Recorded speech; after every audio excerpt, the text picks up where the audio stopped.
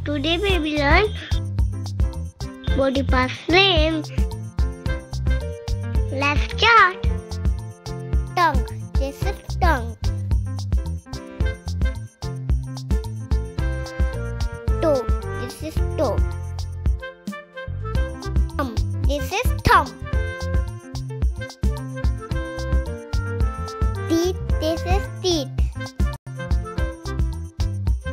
Stomach. This is stomach. Nose. This is nose. Lips. These are lips. Leg. This is leg. Knee. This is knee.